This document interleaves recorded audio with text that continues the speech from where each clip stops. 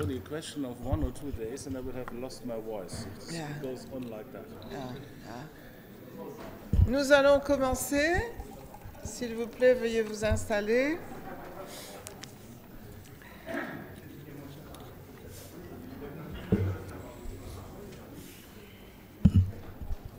Bienvenue à tous, welcome everyone.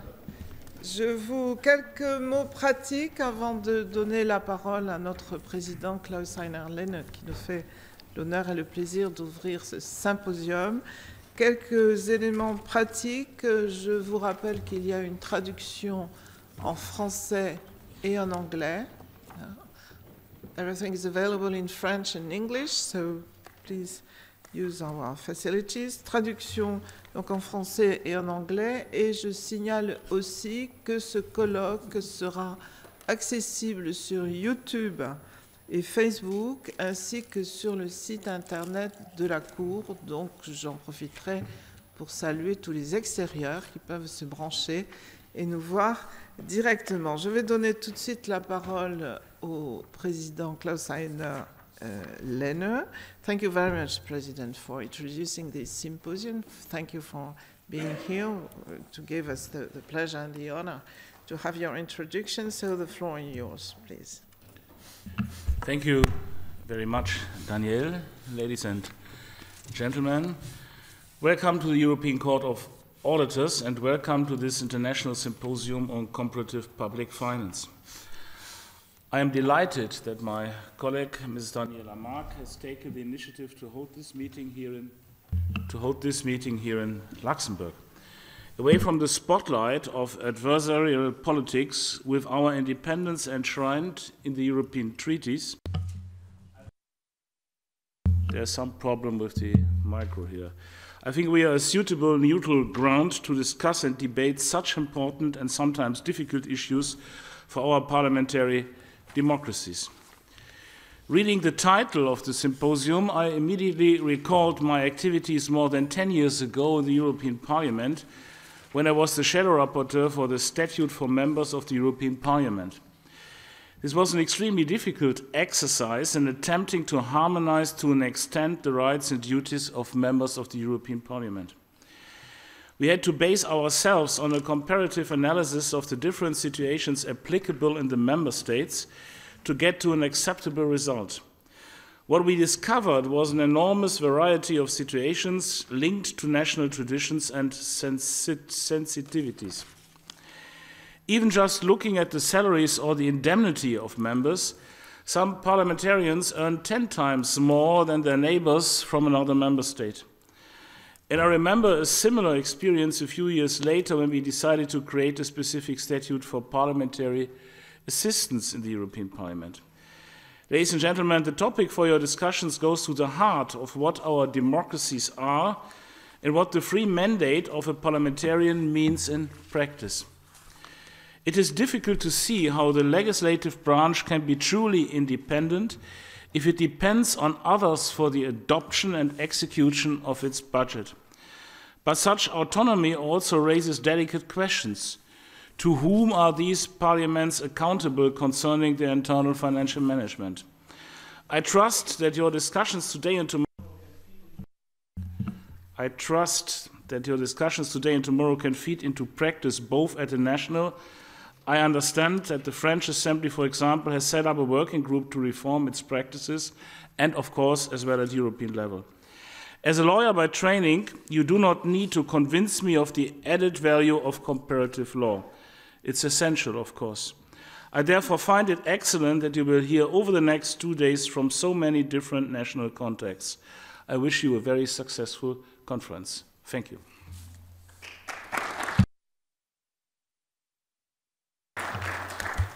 Thank you, President. Now, je vais maintenant donner la parole au professeur Xavier Van Dendrich, un professeur de droit public à l'Université de Lille, qui va introduire ce colloque.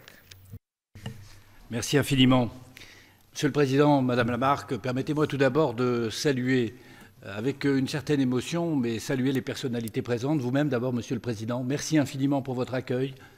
Merci de donner à l'Université de Lille l'occasion de pouvoir organiser ce symposium dans cette magnifique salle, dans cette euh, institution européenne prestigieuse. C'est un grand honneur pour nous, c'est une forme de reconnaissance. C'est aussi, je crois, le signe de cette volonté de notre université que de s'ouvrir davantage sur l'Europe, d'être davantage ce qu'elle prétend parfois être au, cœur de l'Europe. Madame Lamarck, merci infiniment pour tout ce que vous avez fait pour contribuer à la réussite de l'organisation de, ce symposium. Sans vous, je crois que les organisateurs n'y seraient pas parvenus et euh, nous vous devons beaucoup euh, sur l'organisation de ce, symposium. Je permets de saluer également euh, Monsieur le professeur Francis Delperret, vieux complice lillois, si j'ose dire. Alors, monsieur le professeur, monsieur le baron, monsieur le député, monsieur le sénateur, je ne sais plus. Le seul titre, à mon avis, le plus intéressant, le plus important, ça reste monsieur le professeur, pour tout ce qu'il euh, signifie en termes de, euh, positionnement, positionnement, académique. Et puis, euh, je vous salue tous en vos titres et fonctions, toutes les personnalités présentes. Alors, c'est, je le disais, un, privilège pour l'Université de Lille que de pouvoir euh, ainsi, euh, avec euh, l'Institut d'études politiques de Lille, dont mon, collègue est néanmoins complice, Michel Lascombe, se fera l'interprète tout à l'heure, que de pouvoir organiser cette, cette, grande manifestation qui fait écho, et j'y reviendrai, à un colloque que nous avions organisé il y a plus de 20 ans maintenant sur, sur l'organisation et l'autonomie financière du, Parlement, qui permet aujourd'hui de revenir sur, sur cet événement. Alors, je ne sais pas si je suis vraiment légitime euh, pour intervenir aujourd'hui, parce que lorsqu'Aurélien Baudu m'avait demandé de participer à la séance introductive, j'étais encore président de mon université. Je ne le suis plus. Mais euh, le président, qui a été brillamment élu, m'a néanmoins demandé ici d'y euh, représenter l'Université de Lille, ce que je fais avec, avec fierté et avec, humilité. Quelques, quelques remerciements sincères et chaleureux euh, au-delà de ceux que j'ai déjà pu euh, prononcer. D'abord pour euh, Aurélien Baudu et Michel Lascombe. Aurélien, je ne le vois plus, il est là-bas. Qui ont été incontestablement les chevilles ouvrières de, ce symposium, sans lesquels on n'aurait même pas pu imaginer qu'il puisse se dérouler, déployant beaucoup d'énergie, dépensant beaucoup de temps, beaucoup d'intelligence, pour convaincre les uns et les autres, pour construire cette manifestation scientifique. Je crois que euh, nous pouvons euh, leur être extrêmement redevables de ce qu'ils ont fait. Avec le concours, euh, j'y insiste, de l'équipe de, doctorantes et de doctorants de l'Université de Lille, du Centre de recherche droit et perspective du droit, et de l'équipe de recherche en droit public qui ont contribué à cette organisation. Merci au service de la Cour des comptes européenne, Madame. Merci à votre cabinet qui a été là aussi d'un grand renfort pour euh, nous aider pendant tous ces mois de, préparation. Merci à la Société française de, finances publiques et à son dynamique président Xavier Cabane, que je salue euh, chaleureusement et qui accompagne avec beaucoup de, dynamisme euh, ces études, et notamment le développement des études en finances publiques, dont chacun ici s'accordera à considérer qu'elles sont absolument indispensables. Merci à la Société de, législation comparée, prestigieuse société savante qui existe, vous le savez, depuis 1869. Je remercie sincèrement son secrétaire général, M. Timothée Paris, son président, Dominique Hacher, conseiller à la Cour de cassation. La Société de législation comparée accueille désormais, vous le savez, une section de droit public financier qui a été créée conjointement il y a quatre ans par la Société de législation comparée présidé euh, par Michel Lascombe et piloté par Aurélien Baudu. On retrouve le même couple à la tête de cette, euh, de cette section. Merci également à la Revue française de finances publiques et à ses deux porteurs principaux que sont euh, Michel Bouvier et Marie-Christine Esclasson, qui malheureusement ne pourront pas nous rejoindre pour des problèmes de transport notamment. revue qui accompagne, vous le savez, depuis de nombreuses années les études de fond, les études essentielles en droit des finances publiques et qui accompagne également la publication systématique des travaux des séminaires de la Société de, législation comparée. Merci encore à la Revue internationale de droit comparé qui euh, publie de, brefs comptes rendus de ces séminaires pour informer l'ensemble de la communauté des juristes comparatistes des travaux en, sciences et législation financière comparée qui sont menés par, euh, par la section. Merci enfin à la revue Gestion et finances publiques et à son rédacteur en chef, Michel Leclinch, qui lui non plus ne peut pas être des nôtres ce matin, mais qui assurera, vous le savez, la publication des, actes de ce symposium. J'en viens au fond, rapidement. Deuxième symposium international de finances publiques comparées, euh, consacré euh, au financement public des parlements. Alors, j'aime bien les mots, et je me suis d'abord arrêté sur le mot symposium. Et j'ai fait une petite recherche étymologique. Alors le symposium, vous le savez, euh, nous vient de la Grèce antique. Et le symposium, souvenez-vous du banquet de Platon, le symposium c'est un banquet précisément. Et le plus célèbre d'entre eux, c'était précisément le banquet de Platon dédié à l'amour. Donc j'imagine que euh, ce symposium, ce colloque, cette conférence, euh, va euh, aussi se transformer en banquet de l'amour, banquet de l'amour de l'autonomie financière, banquet de l'amour des finances publiques comparées des parlements de l'Union européenne. En tout cas, c'est le vœu que je forme. Et puis, financement public des parlements. Je me suis interrogé sur le public. Les juristes aiment bien le raisonnement à contrario. Y aurait-il un financement privé des parlements qui donnerait du sens à ce titre de financement public des parlements en Europe? Au-delà de, ces petits clins d'œil, je crois que cette approche comparée, qui a structuré véritablement toute l'organisation de ce colloque, cette approche comparée est une absolue nécessité. Les études de droit comparé en matière de finances publiques sont consubstantielles à la discipline, pas simplement à elle, mais je crois fondamentalement quand même à celle-ci. Certes, les études juridiques financières en droit comparé sont trop rares, notamment en France, parce que c'est extrêmement difficile. Ça suppose d'avoir une méthodologie qui soit euh, incomparable. Euh, il faut à la fois bien connaître son droit et être en capacité de connaître aussi bien ou presque aussi bien le droit étranger que l'on cherche à comparer. C'est la raison pour laquelle moi je ne peux que féliciter les organisateurs d'avoir retenu cette méthodologie consistant à mettre systématiquement en place un binôme entre ce qu'on appelle parfois un, autochtone du Parlement étudié et puis euh, euh, un, universitaire ou un praticien qui viendra éclairer euh, ce débat. Je crois que c'est vraiment la méthode qu'il fallait retenir. Les objectifs de ce, symposium sont, clairs. Le président de la Cour des comptes européenne n'a pas manqué de le rappeler. Il s'agit de permettre un éclairage sur le financement public des, parlements au sein des systèmes monocaméraux et bicaméraux en Europe. Quelles sont les règles en matière d'adoption et d'exécution des budgets des assemblées? L'autonomie financière du Parlement est-elle consacrée? J'y reviendrai dans un instant. Quelle application ce principe connaît-il? Quels sont les contrôles qui, s'appliquent? Alors nous, nous avions avec Michel Lascombe, il y a un peu plus de 20 ans, à Lille, euh, organisé un, colloque sur euh, l'autonomie financière des assemblées parlementaires en 1997, euh, dont vous avez d'ailleurs les actes dans le, dans le dossier qui vous a été remis. Et je me rappelle que j'avais fait une intervention sur la recherche du fondement de l'autonomie financière des assemblées parlementaires. Alors certes en droit français à l'époque.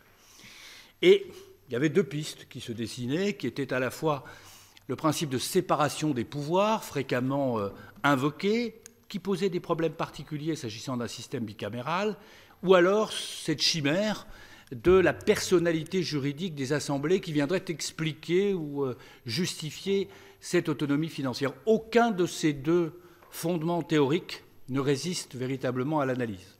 Et la conclusion à laquelle j'étais parvenu était quand même pauvre, qui consistait à dire que, en définitive, cette autonomie financière se constatait ou se mesurait plus qu'elle ne se justifiait d'un point de vue théorique.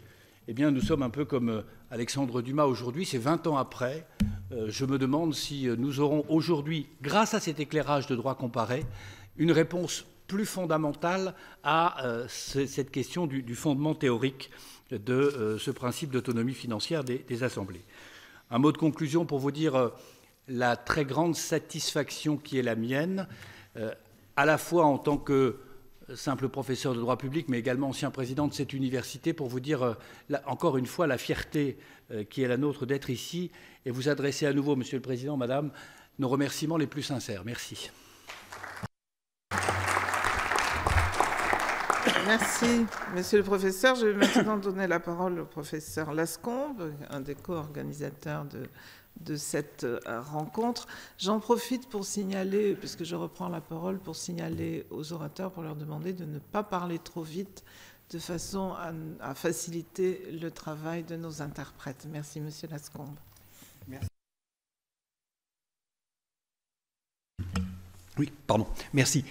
Euh, monsieur le Président, Madame, Mesdames, Messieurs, j'interviens au nom de Benoît Langagne, le directeur de Sciences Po Lille, qui euh, malheureusement est victime des maladies qui se propagent actuellement et n'a pas pu nous rejoindre euh, aujourd'hui.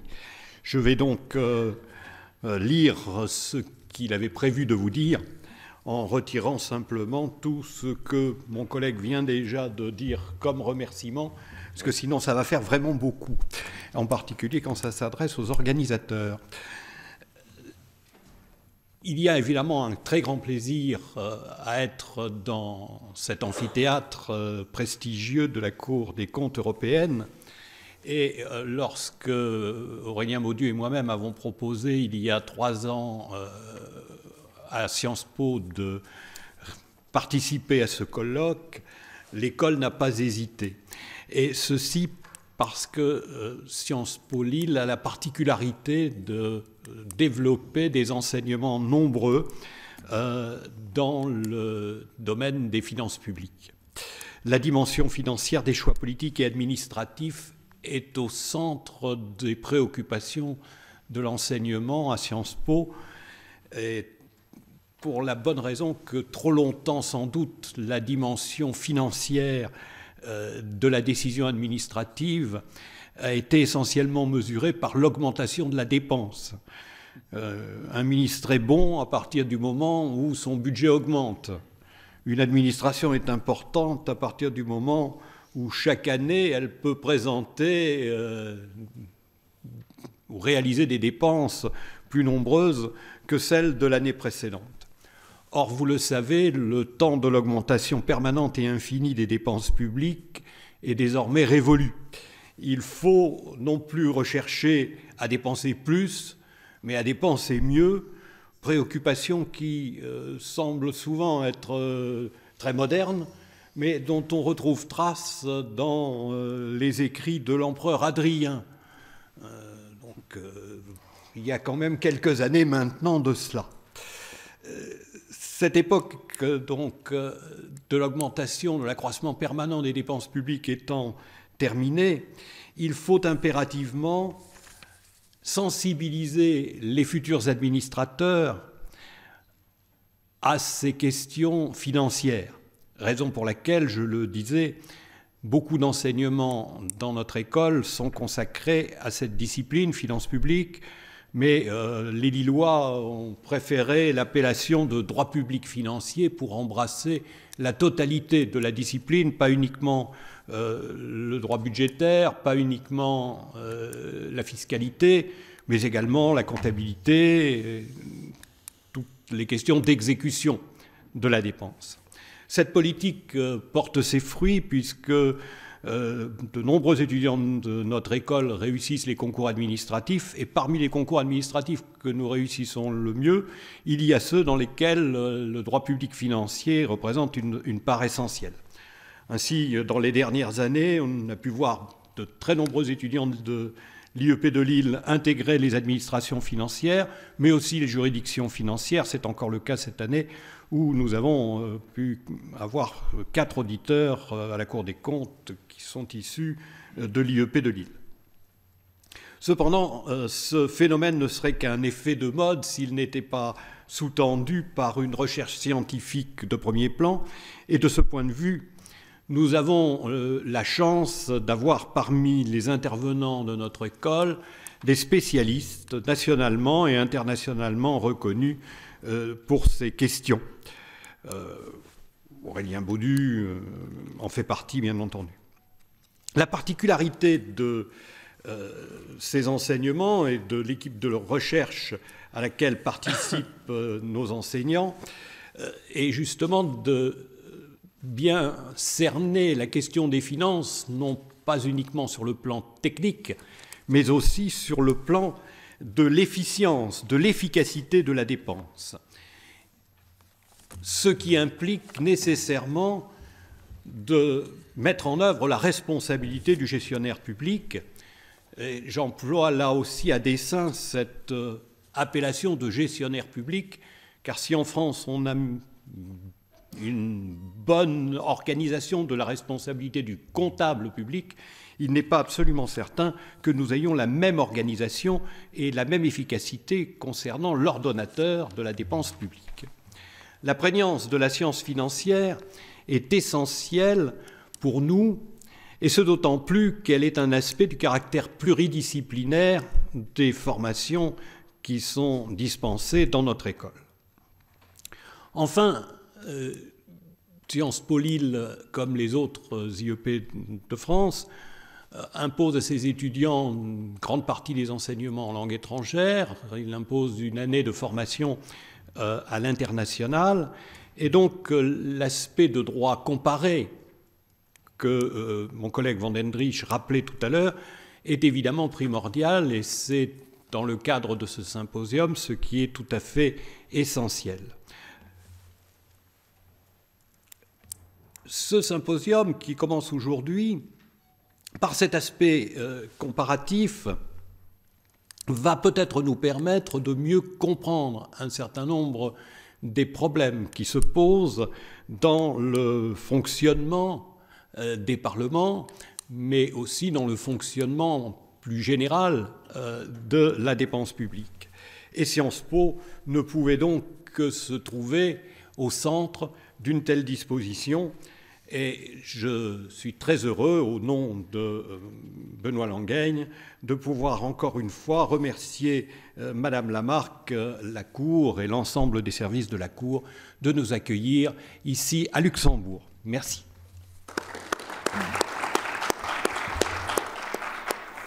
Merci, Monsieur le Professeur. Nous allons avoir maintenant deux propos introductifs sur, notre, sur la thématique de notre symposium. Le premier sera présenté par le professeur Xavier Cabane, qui est également le président de la Société française de finances publiques. Merci beaucoup, Madame Lamarck. Bien, Mesdames et Messieurs, dans le cadre de ces brefs propos introductifs autour du symposium, et non pas du symposium, autour du symposium, je souhaiterais euh, organiser mon propos autour de trois points. Euh, premier point, et c'est bien normal, des remerciements, des félicitations et une satisfaction. Remerciements bien évidemment à la Cour des comptes européenne et à son président pour nous accueillir ici, en des locaux prestigieux et très certainement en lieu qui reflète mieux qu'aucun autre ce que peuvent être les études sur les finances et la gestion publique comparée. Il suffit pour s'en convaincre de lire les travaux de cette institution. Ensuite, félicitations sincères et vraiment très très chaleureuses aux organisations de cette manifestation. À Madame Danielle Lamarck, membre de la Cour des comptes européennes, et à Monsieur le professeur Michel Lascombe et à Aurélien Baudu, tous deux, il faut le souligner, acteurs, je crois, majeurs et devenus incontournables du renouveau des finances publiques comparées au sein de l'université française. Et pour cela, messieurs, il faut vous féliciter et vous remercier grandement. Enfin, je voudrais ici souligner une grande satisfaction, la satisfaction de voir cette manifestation soutenue par deux sociétés savantes, la Société de législation comparée et la Société française de finances publiques. Puisqu'il faut rappeler que les travaux de finances publiques comparées qui sont coordonnés par Michel Lascombe et Aurélien Baudu le sont au sein de la section de droit public financier de la Société de législation comparée. Mais cette section de droit public financier a été créée en commun par la dite Société de législation comparée, la Société française de finances publiques et bien sûr, il ne faut pas l'oublier, l'équipe de droit public euh, de l'Université de Lille. C'est une superbe création qui fonctionne très bien et je crois que nous en sommes tous extrêmement heureux. Et nous avons déjà sur la plaquette, euh, sur le programme de ce, de ce colloque, une excellente annonce, puisque ce symposium est annoncé comme étant le deuxième et non pas le second. Ce qui veut donc dire que nous sommes prêts déjà pour le troisième. C'est une très bonne nouvelle et donc grand merci. Il fallait pas le promettre. Ensuite, euh, toujours dans ces brefs propos, un second point important sur l'intérêt des finances publiques comparées. En finances publiques, comme dans toutes les matières juridiques mais aussi économiques, la comparaison, qui selon l'expression française n'est pas raison, mais la comparaison est nécessaire. Et comme l'écrivait en 1936 Edgar Alix, professeur français qui semble redevenir à la mode, eh bien, dans, un de, dans son propos introductif à la première livraison, au premier numéro des Annales de finances publiques comparées, qui avait été publié à l'initiative de la section des finances publiques de l'Institut de droit comparé de l'Université de Paris, euh, Edgar Alix disait ceci. Je vais vous lire ça.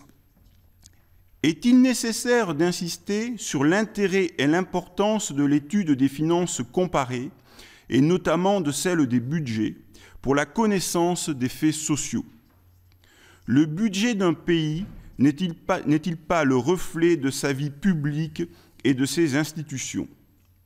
La lecture des budgets permet de découvrir le caractère même des organisations sociales et économiques. Elle révèle les tendances des peuples, leur bonne et mauvaise fortune, leur sagesse et leur folie, qui s'inscrivent inéluctablement en doit, donc du verbe devoir, et en avoir dans la comptabilité publique. Il écrivait cela en 1936 et bien évidemment à une époque où l'Europe avait entamé depuis quelques années déjà sa marche inexorable vers la guerre. Il dressait alors un constat qui par certains aspects peut encore résonner cruellement. Je cite de nouveau Edgar Alix. Dans la période troublée que nous traversons, où derrière tous les autres problèmes surgit, les dominant tous et commandant leur solution, le problème financier. Aussi bien le péril est ressenti partout.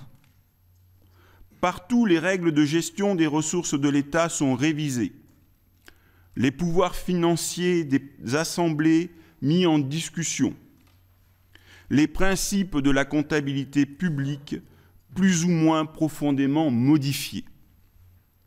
Et il concluait Aucun pays ne saurait négliger les leçons que fournissent dans ce domaine les réformes réalisées à l'étranger.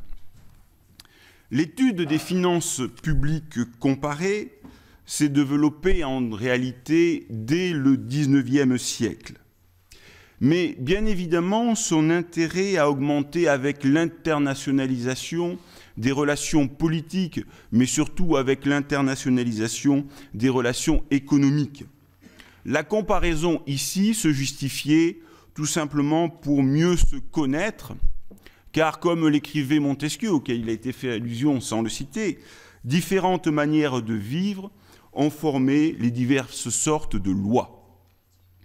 Mais ensuite, les finances publiques comparées, je dirais, ont connu un nouvel essor avec la construction européenne et son accélération.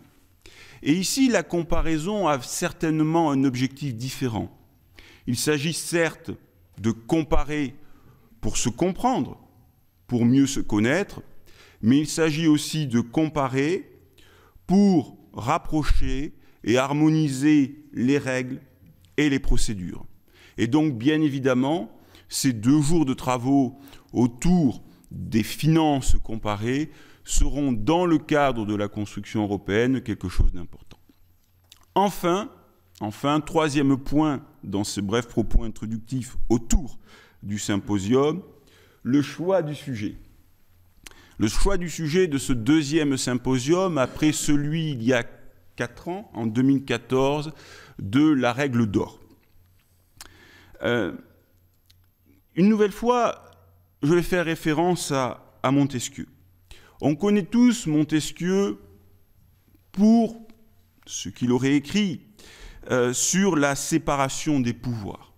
Montesquieu a écrit qu'il existait trois sortes de pouvoirs, et l'un de ces pouvoirs fait les lois, les corrige et les abroge. Les commentateurs de Montesquieu ont fait de son chapitre sur la Constitution d'Angleterre un prône pour la séparation des pouvoirs comme clé de voûte de la démocratie. Il est à peu près certain que Montesquieu n'y avait absolument jamais pensé. Ça, c'est certain. Mais l'interprétation que l'on a fait de Montesquieu, et après tout, interpréter, c'est créer, est agréable. Alors même si cela ne résiste pas euh, à l'analyse, dans notre conception occidentale, et par exemple en France, où la Déclaration des droits de l'homme et du citoyen de 1789 proclame que toute société dans laquelle la garantie des droits n'est pas assurée, ni la séparation des pouvoirs déterminés n'a point de constitution, eh bien, dans notre conception occidentale, le Parlement, en tant qu'organe, organe législatif, exerce un pouvoir qui doit être indépendant des deux autres. Assurément, les règles qui encadrent le financement public du Parlement, le niveau de ce financement et les contrôles pesant sur les finances parlementaires sont autant de questions essentielles pour la démocratie, puisque le bon fonctionnement de l'organe parlementaire doit contribuer à l'exercice indépendant de son pouvoir. Il en va de même d'ailleurs concernant la façon dont le Parlement les parlements en Europe et les parlementaires emploient leurs fonds, au risque de voir se creuser un peu plus le désamour entre les citoyens et leurs élus. Le sujet de ces deux jours est donc extrêmement vaste, mais extrêmement riche, et je nous souhaite à tous un très beau symposium.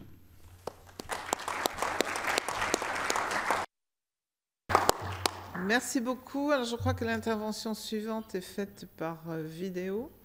Euh, c'est ça, celle de M. Dominique Acher. Donc, je laisse les techniciens. Voilà, c'est ça. Bonjour et bienvenue au second symposium international de finances publiques comparées.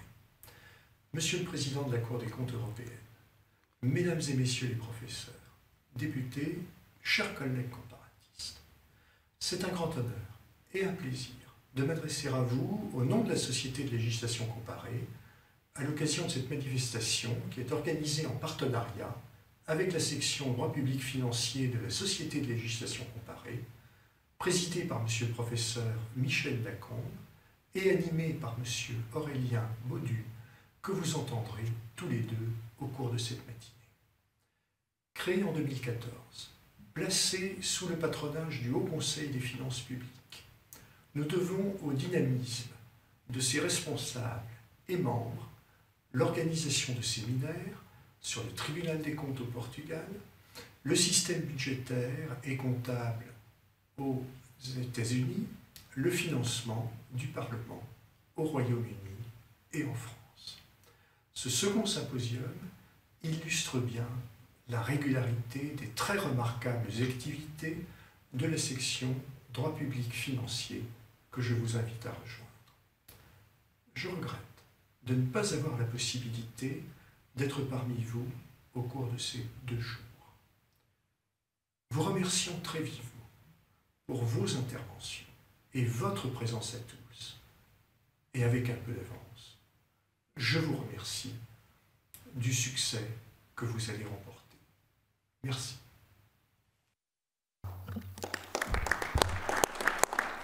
Bien. Voilà, donc il me revient d'introduire les trois euh, propos introductifs, après les introductions autour, les propos introductifs du, symposium. Je serai euh, très brève. Je voudrais d'abord faire écho aux propos de bienvenue de notre président Klaus Heiner Lehne pour me réjouir de la présence aujourd'hui de nombreux universitaires, hauts fonctionnaires, de mes collègues de la Cour et de membres de la Cour, et saluer aussi ceux qui nous suivent de l'extérieur grâce aux moyens de la technologie sur leurs ordinateurs. Euh, la Cour des comptes est très honorée d'accueillir cette rencontre de haut niveau sur le financement public des parlements en Europe et je suis convaincue que ces deux jours nous apporteront des contributions et des débats de très grande qualité. Je voudrais pour ma part insister brièvement sur trois points qui me semblent ressortir de cette problématique. Le premier est pour dire, c'est une évidence, la transparence est dans l'air du temps. Nous le savons. Les citoyens veulent savoir à quoi est employé l'argent public et les représentants du peuple n'échappent pas à cette demande que l'on voit de plus en plus pressante. L'article 15 de la Déclaration des droits de l'homme et du citoyen du 1789, dont la Cour des comptes française a fait sa devise, doit donc être compris, à mon avis, dans son acception la plus large. Si la société, directement ou à travers ses représentants, a le droit de demander compte à tout agent public de son administration, il n'est pas interdit d'étendre cette obligation à ses représentants eux-mêmes, puisqu'ils bénéficient des financements publics. Ce devoir d'information, cette obligation de rendre compte, que nous appelons accountability en anglais, c'est une composante essentielle de l'exercice de la responsabilité. Il importe donc de le reconnaître, de l'organiser et d'y répondre pleinement. Mon deuxième point concerne le contrôle de ces financements. Vous n'en serez pas surpris puisque nous sommes ici à la Cour des comptes européenne. Ce contrôle est à mon sens un rouage essentiel de la boucle de responsabilité que je viens d'évoquer. C'est la garantie d'une information objective et indépendante. C'est aussi la protection contre une transparence mal maîtrisée, puisque la transparence elle-même comporte des risques, on le sait. Les auditeurs publics doivent donc être en capacité de jouer ce rôle et d'exercer ce contrôle. Je voudrais enfin, au troisième point, élargir mon propos, mesdames et messieurs les professeurs, pardonnez-moi ce hors-sujet, ça commence mal, euh, à la question des moyens au sens le plus large mis à la disposition des parlementaires pour remplir leurs fonctions législatives et de contrôle de l'exécutif. On parle en effet beaucoup des moyens personnels dont ils disposent, des indemnités, des aidants personnels, des assistants, mais il y a aussi d'autres éléments, d'autres instruments qui leur permettent d'améliorer leur expertise. Ce sont ces unités d'études et de recherche qui peuvent dans certains pays réunir plusieurs centaines d'experts, on le voit au service du Congrès américain ou du Parlement européen, et qui apportent un concours qui va bien au-delà des moyens financiers ou humains accordés à chaque parlementaire personnellement. L'exercice de la fonction parlementaire, dans un monde qui est devenu plus complexe, exige cette expertise. Elle est nécessaire pour analyser les études d'impact des projets de loi, une fonction dont un colloque international tenu ici même en novembre dernier a montré les enjeux et les difficultés. Elle est nécessaire pour contrôler l'action de l'exécutif. Elle est indispensable, enfin, pour évaluer les politiques publiques. Je vous renvoie à ce propos à un rapport d'information qui a été remis tout récemment, le 15 mars dernier, au comité d'évaluation et de contrôle de l'Assemblée nationale française. Il identifie très précisément ces besoins d'information à toutes les étapes du travail d'un parlementaire, besoin d'information et d'expertise, et il pose très clairement et très précisément la question des moyens de satisfaire ces besoins. La comparaison internationale que nous aurons pendant ces deux jours est indispensable pour mieux comprendre toutes ces problématiques, pour mettre à jour les mouvements de fond, pour identifier les facteurs de succès et les bonnes pratiques et pour susciter l'émulation. Elle est évidente dans le contexte européen où nous avons l'habitude de ces comparaisons et de ces réflexions. Nous avons la chance dans notre symposium de pouvoir couvrir dix États européens plus l'Union européenne, grâce au rayonnement de la Société de législation comparée, de la Société française de finances publiques et de l'École de Lille des finances publiques qui se sont associés pour promouvoir les travaux en droit public financier. Grâce aussi, et j'y insiste, grâce aussi et surtout au dynamisme, au talent et à l'engagement exceptionnel de Michel Lascombe et d'Aurélien Baudu auquel je vais donner maintenant la parole.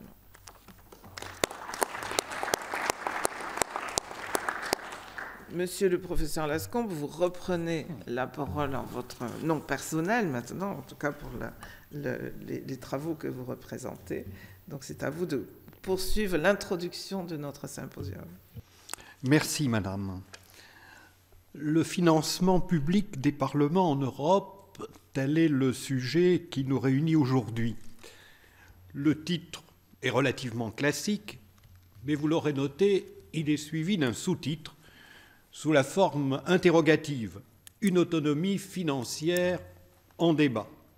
Ce sous-titre induit qu'il y ait une autonomie financière des parlements et aussi qu'il y ait un débat. Voyons tout d'abord l'autonomie financière. Mon collègue Van Hendrich le rappelait tout à l'heure, il avait magistralement montré il y a 20 ans qu'il n'y a pas euh, de fondement véritable à l'autonomie financière du Parlement, sinon qu'elle se constate. Repartant de cette idée, on peut se demander s'il n'y a pas un certain paradoxe à s'interroger sur l'existence de l'autonomie financière des parlements en Europe. Alors tout de suite, une précision, le fait que ce soit en Europe simplifie un peu les choses. Disons, dans les pays démocratiques, et comme dans l'Union, il n'y a que des pays démocratiques, euh, nous avons réglé le problème.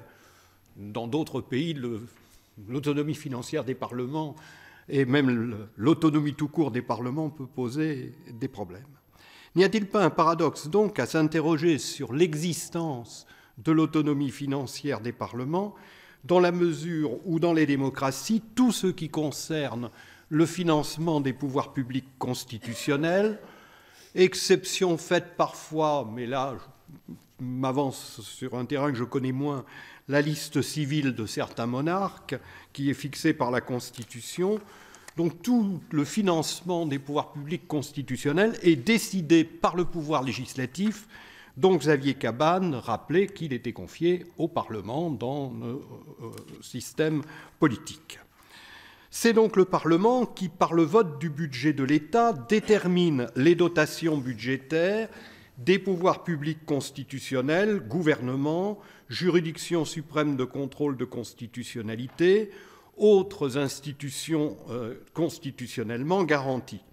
Dès lors, l'autonomie financière ne se présume-t-elle pas si le Parlement décide pour l'ensemble des pouvoirs publics constitutionnels Il décide donc pour lui-même et, comme le veut l'adage, on n'est jamais si bien servi que par soi-même. Aussi, le Parlement s'auto-attribuera les dotations dont il estime le montant nécessaire à son fonctionnement, voire à son rayonnement. Dès lors que les parlements disposent du monopole de la décision budgétaire, sauf l'exception des périodes troublées ou du non-exercice volontaire par le Parlement de son pouvoir, il est nécessairement autonome. La question de l'autonomie est celle en fait des autres pouvoirs publics constitutionnels par rapport au Parlement. Est-ce que le gouvernement est financièrement autonome par rapport au Parlement On pourrait se poser la question. Ce problème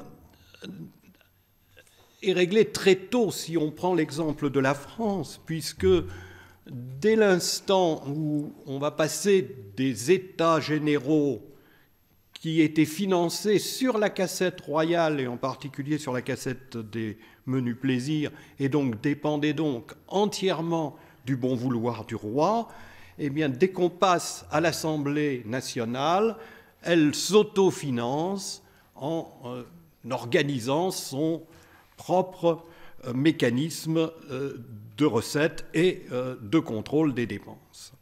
Alors mon collègue Van Dendrich s'interrogeait tout à l'heure en disant financement public des parlements, il ne peut pas y avoir un financement privé.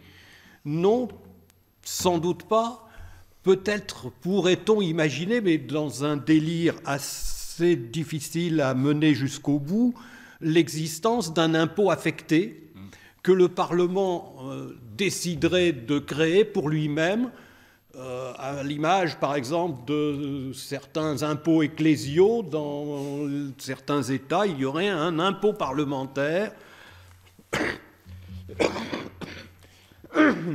pardon. Mais bon, le, fondement juridique de cette création pourrait euh, poser problème. On ne saurait euh, imaginer un instant qu'un Parlement accepte euh, d'adopter un budget dans lequel ces dotations seraient supprimées ou réduites de telle manière que le Parlement serait mis hors d'état de fonctionner, se votant à lui-même les dotations dont il estime avoir besoin, le Parlement dispose ensuite, tout naturellement, d'une totale liberté dans l'usage qu'il fait des dotations qu'il s'est qu'il s'est données. Il y a donc, si on ose dire, une autonomie tant en recettes qu'en dépenses s'agissant des parlements, et cette autonomie se constate, elle est consubstantielle à l'idée même de démocratie, et surtout de démocratie parlementaire. En fait, la seule véritable problématique touchant à l'autonomie financière ne concerne pas le Parlement, mais les assemblées parlementaires lorsque le Parlement est pluricaméral.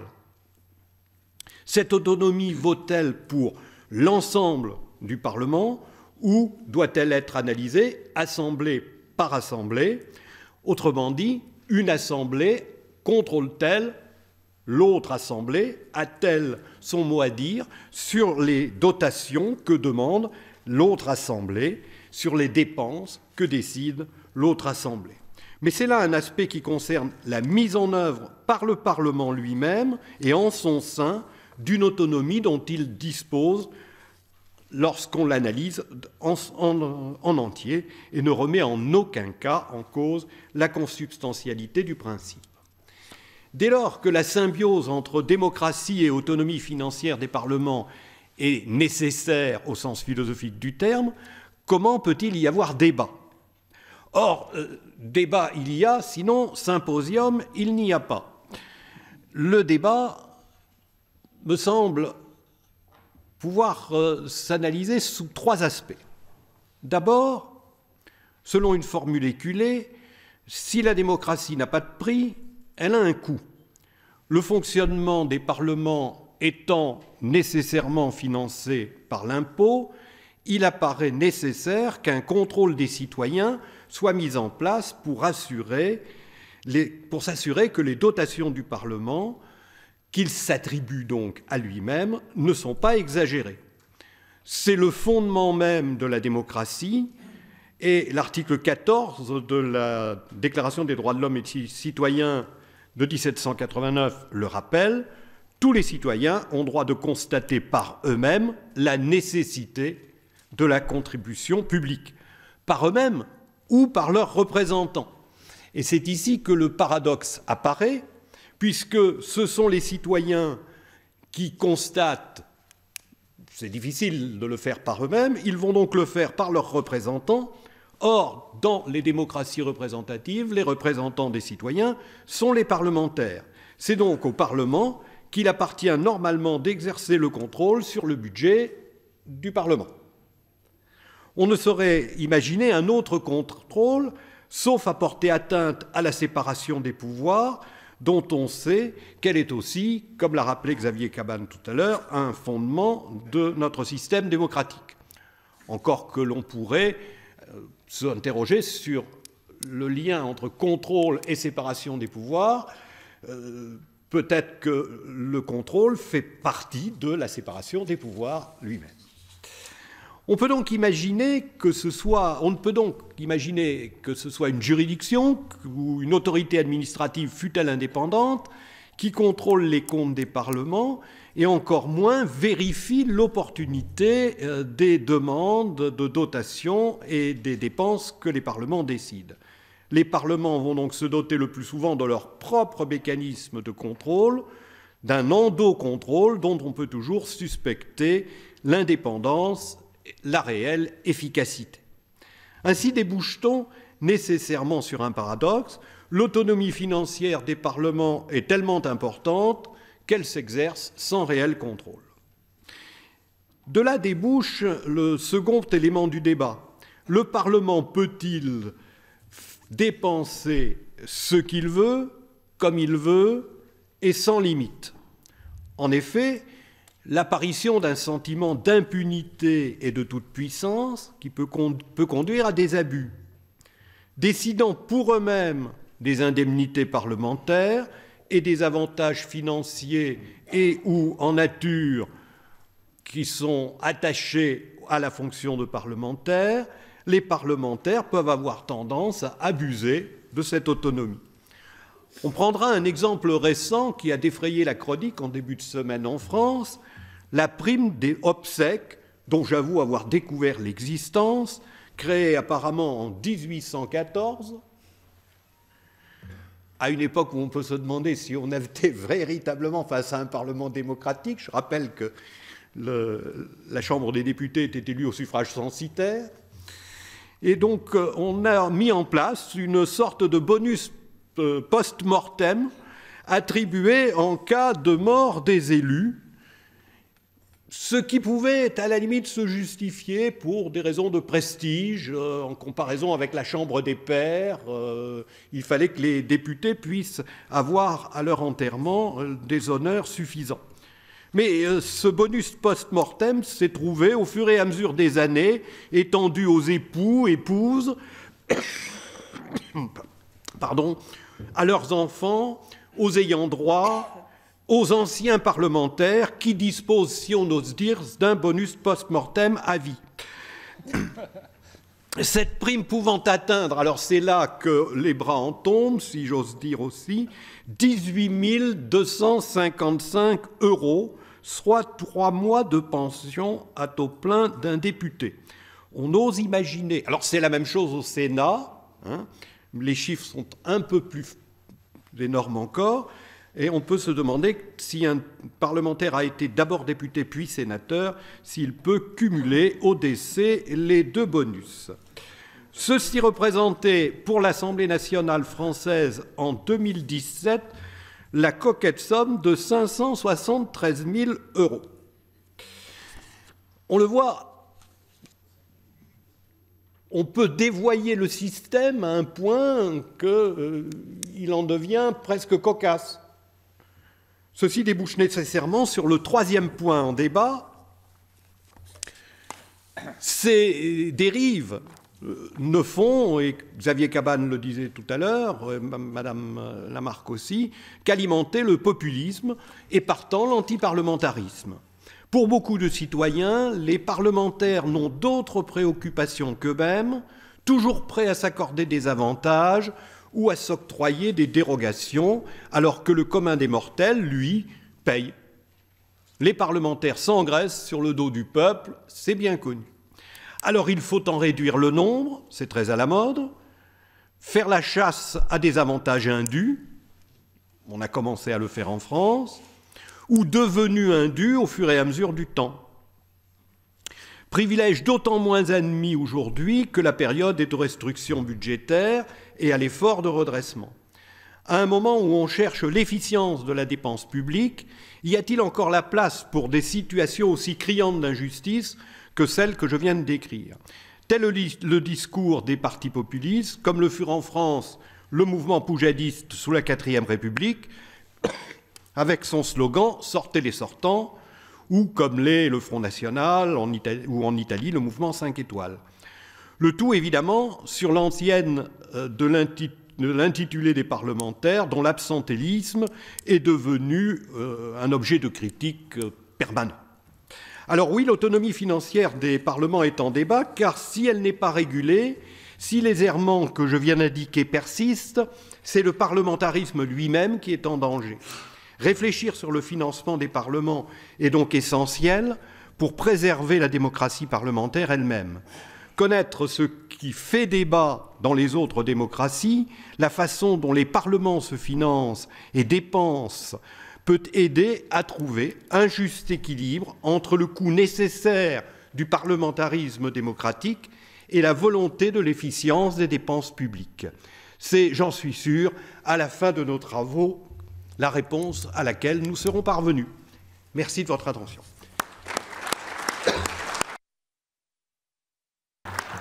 Merci, monsieur le professeur. Je donne maintenant la parole à monsieur Aurélien Baudu, notre co-organisateur de ce symposium de l'Université de Lille. Je vous remercie, madame la présidente.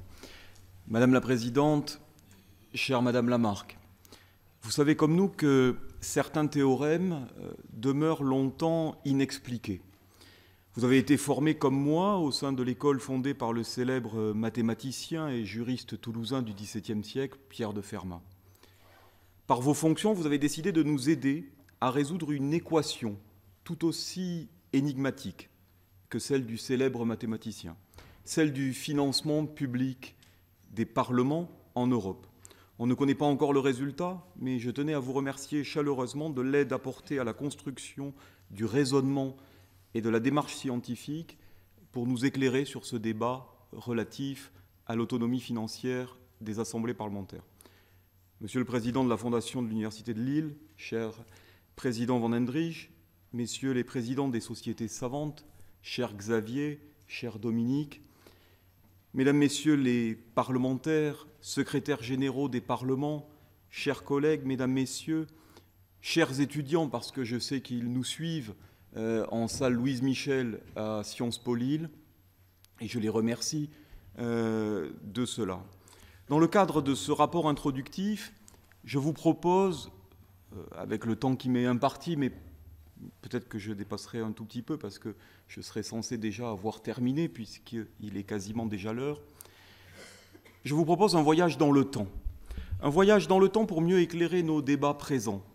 Euh, et surtout parce que c'est l'une des raisons euh, qui nous ont conduits à créer ce symposium sur le financement des parlements. Nous sommes au mois de septembre 1997 replongez-vous dans le contexte de l'époque.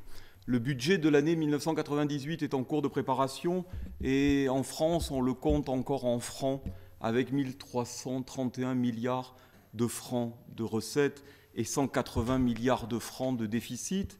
Mais nous sommes le 18 septembre 1997 en Ficassin à Lille, présidé euh, par le professeur Jean Léonard Dely, président de l'université de l'île de droit et santé à l'époque, a lieu ce colloque sur le financement des parlements dont on vous a diffusé les actes et dont euh, il s'agissait à l'époque du premier colloque du laboratoire lillois Gérard Greff sous l'égide déjà à l'époque de la Société française de finances publiques.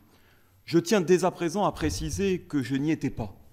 Euh, vous comprendrez à la fin de mon propos les raisons qui me conduisent à devoir vous raconter cette histoire. Bien évidemment, au préalable, j'ai pris le pouls des Lillois historiques qui étaient présents et qui m'ont raconté les anecdotes qui se sont passées cette année-là en fille René Cassin.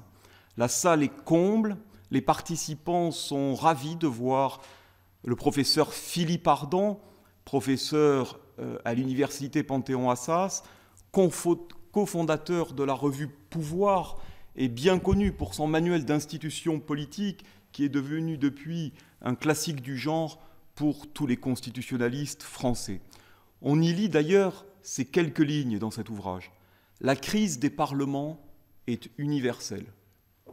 L'image du Parlement et des parlementaires n'est pas bonne.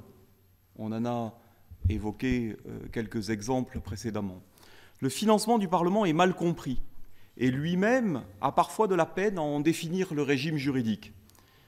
Toutefois, au sein des ouvrages de droit constitutionnel, dans la plupart, peut-être à l'exception de celui du professeur Michel Lascombe, seules quelques lignes sont souvent consacrées à l'indemnité parlementaire, au rôle des questeurs dans la gestion administrative et financière des assemblées.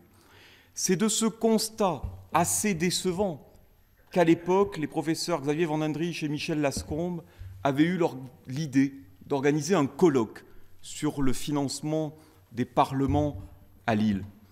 Parce que, effectivement, nous connaissons le rôle des parlements pour le vote des budgets des États, pour le contrôle des budgets. Mais parfois, il y a un silence il y a un malaise autour du financement des assemblées parlementaires. Ce n'est pas seulement une question technique. Il faut savoir comment sont élaborés, votés, exécutés, contrôlés les budgets des assemblées parlementaires. Et cela fera partie des questions que nous aurons tout au long de ce symposium, État par État. C'est une nécessité de transparence démocratique, cela a été rappelé avant moi. Le citoyen veut savoir. Le parlementaire croit savoir. L'universitaire doit savoir. Le colloque de 1997 était principalement axé sur le financement du Parlement en France, et plus particulièrement sous la Ve République. Nous avions eu les éclairages déjà à l'époque du professeur Michel Lascombe sur l'expérience constitutionnelle antérieure de la France, euh, largement inspiré des travaux de son doctorant de l'époque, enfin, devenu euh, le professeur Vincent Dussard depuis, qui a rédigé sa thèse sur ce sujet et qui, au cours de la journée de demain, présent euh, au cours de ce symposium, vous apportera des éclairages supplémentaires sur l'autonomie financière des assemblées en France.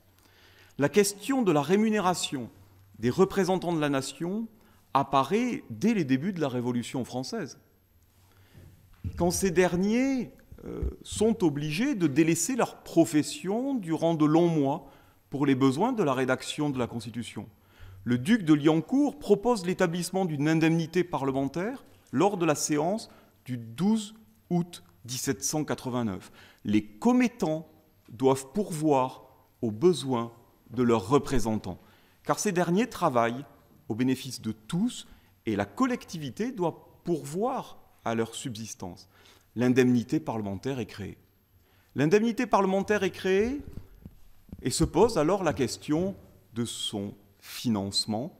Elle demeurera contestée en France par les extrêmes, aussi bien à droite qu'à gauche. Par ailleurs, je n'y ferai qu'un clin d'œil, puisque le professeur Michel Lascombe vous a déjà euh, éclairé sur ce point, il est fréquent que dans l'actualité surgissent des débats sur euh, les avantages matériels, financiers des parlementaires. Et nous avons eu récemment, effectivement, en France, la question des frais et des remboursements de frais funéraires des parlementaires français. C'est lors d'un comité secret du 14 septembre 1814 que la Chambre des députés prend une résolution en ce sens. 617 francs payés à l'époque pour le remboursement sur facture. Sur facture. Et puis finalement, progressivement, on se passera de la facture. Et puis de 617 francs, nous passerons à 1200 francs. Et puis de 1200 francs, on bondira à 1500 francs euh, sous la Troisième République. Bien évidemment, le Sénat suivra. Article 18 du règlement de comptabilité du Sénat qui va dans cette même direction. Les Américains ont fait un autre choix.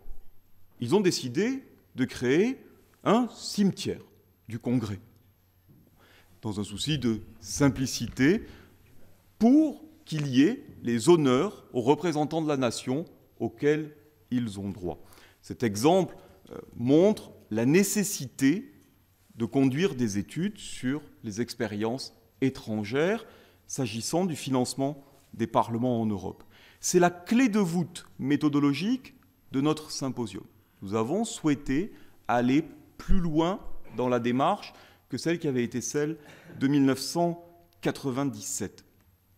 Alors, effectivement, on y reviendra, le Royaume-Uni, euh, dès le 10 août 1911, consacre l'indemnité parlementaire, l'Allemagne la consacre à l'article 48 de sa loi fondamentale, l'Italie une loi du 30 juin 1912, l'Espagne l'inscrit à l'article 71 de la Constitution de 1978. Avec des formules souvent similaires, les députés et les sénateurs percevront une indemnité parlementaire et des textes organiques ou législatifs viennent préciser le régime juridique de cette indemnité. Le principe de l'indemnité parlementaire est donc consacré. Il faut assurer son financement. En 1997, déjà, les professeurs Xavier Van Andrich et Michel Lascombe avaient eu l'idée de faire du droit comparé. Il y avait eu des éclairages sur le cas allemand, et notamment euh, le professeur titulaire de la chaire à l'université de la Sarre avait à l'époque présenté les particularismes du financement du Bundestag allemand. Il y avait eu des éclairages sur le cas britannique, sur le cas belge, et nous attendons avec grande impatience effectivement les éclairages du professeur Francis Delperré dans le cadre du présent symposium. Le Parlement européen n'avait pas non plus été oublié à l'époque, et nous avons hâte d'entendre les débats entre Émeric Poteau et Madame Danielle Lamarck, et également M. Didier Cléty, directeur général des finances du Parlement européen, qui nous fait l'honneur d'être présent à l'occasion de ce symposium. Toutefois, à l'époque, il avait manqué des éclairages sur le financement du Parlement de l'Espagne, de l'Italie, du Danemark, de la Grèce, et nous avons décidé donc euh, de euh, combler ces lacunes en faisant appel à des universitaires et des hauts fonctionnaires parlementaires étrangers venus des quatre coins de l'Europe, et je les en remercie chaleureusement. À l'époque, il y avait eu des parlementaires qui étaient venus, des parlementaires français, qui nous avaient montré les cuisines internes du financement du Parlement français. Certains nous avouant d'ailleurs à l'époque, et je pense au sénateur Alex Turc, découvrant lui-même euh, finalement certains mécanismes qu'il ignorait et vous retrouverez dans les actes euh, que l'intéressé avait sondé les services pour finalement comprendre comment cela fonctionne.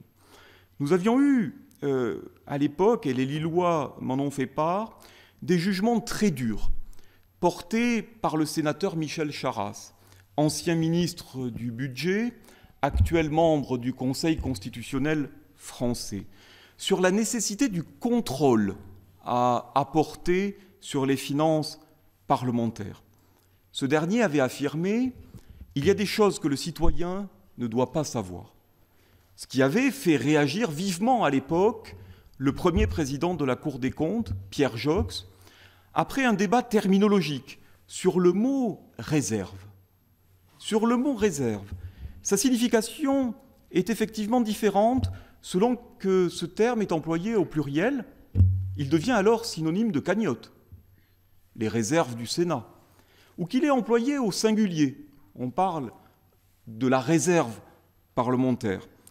Ce qui posait en réalité la question de l'indépendance des membres du Parlement face à l'exécutif, et grâce au formidable travail à l'époque menée par le professeur Étienne Douat, dont nous saluons la présence parmi nous ce matin, avait euh, éclairé l'assistance de l'époque sur un mécanisme que tout le monde ignorait. Comme il s'agit désormais en France de l'histoire du droit, nous avons décidé de ne pas reproduire ces travaux euh, sur la défunte réserve ce qui explique euh, la non-diffusion du papier du professeur Étienne Doit, et j'espère qu'il ne nous en voudra pas. Les spécificités de l'exécution des budgets des assemblées avaient été également mises en perspective par le professeur Sylvie Caudal, largement dérogatoire au droit de la comptabilité publique. Elle s'était d'ailleurs interrogée sur le principe de séparation des ordonnateurs et des comptables publics. En effet, on voit mal comment confier le contrôle de l'engagement de la dépense à un fonctionnaire du ministère des Finances, car cela poserait un problème de séparation des pouvoirs, comme l'a très justement rappelé Xavier Cabane. Ce sont donc euh, des réflexions sur euh, la transparence de la démocratie, euh, la nécessité du contrôle. Daniel Lamarck vous l'a rappelé en s'appuyant sur les dispositions de l'article 15 en France de la Déclaration des droits de l'homme et du citoyen, le droit de demander compte à tout agent public de son administration. C'est la raison pour laquelle nous avons fait le choix, dans le cadre du présent symposium, de nous intéresser au financement des parlementaires, donc des membres élus du Parlement, mais également des membres non élus. Et je pense principalement aux contractuels et je pense aux fonctionnaires parlementaires ce qui nous a valu de la part du Sénat français un certain nombre de reproches. Le professeur Jean Valine, lorsqu'il avait conclu euh, le colloque de 1997, considérait qu'il n'y avait aucune théorie fondamentale du droit public qui nous pouvait expliquer aujourd'hui le manque de transparence sur la question du financement des parlements. Alors, euh, pourquoi vous parlez de tout cela? Vous allez très certainement vous demander pourquoi rédiger un rapport introductif sur un colloque datant de 1997, c'est-à-dire il y a plus de 20 ans Mais Pour la simple et bonne raison qu'il n'y a plus aucune trace de ce document dans les bibliothèques universitaires, pour la bonne et simple raison que ce document n'a jamais été publié. Lorsque j'étais au Sénat comme assistant parlementaire, un jour, mon directeur de thèse, grand spécialiste de la question, le professeur Vincent Dussard, m'invite à imprimer les travaux de ce colloque qui était encore présent sur un lien Internet de son propre directeur de thèse, le professeur Michel Lascombe, co-organisateur de cette manifestation. Suite à cet appel téléphonique, je demande au service de la bibliothèque du Sénat d'imprimer le document, laquelle les yeux fermés imprime sans trop savoir ce qu'elle imprimait. Entre-temps, j'arrive à Lille.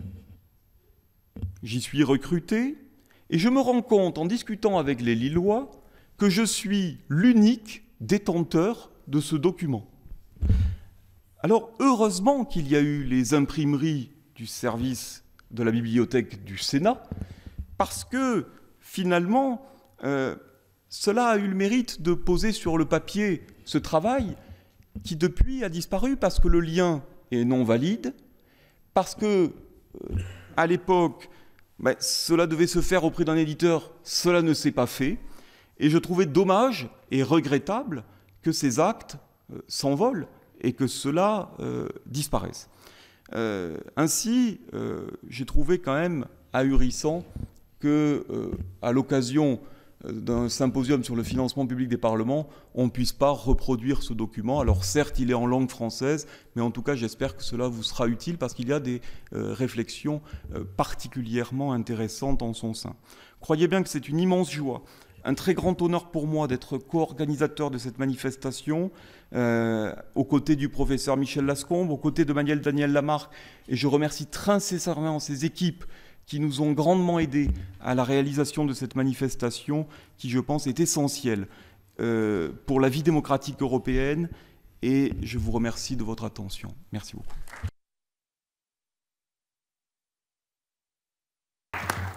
Merci beaucoup. Nous avons un quart d'heure de pause. Euh, le café est servi derrière cette salle. Donc nous allons reprendre un petit peu avant 10h30 pour la première table ronde consacrée à l'autonomie de l'Assemblée parlementaire dans les systèmes monocaméraux. Voilà, merci beaucoup.